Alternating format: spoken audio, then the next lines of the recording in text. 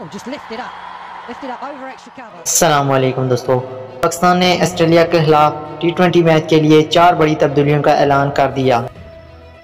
तो हैदर अली को T twenty में शामिल कर दिया गया है। इसके अलावा शादाब खान हैं। शादाब खान न हुए तो दिल खुश दिल शाह होंगे और शाहनवाज धोनी होंगे और उस्मान कादर को भी मौका मिलेगा।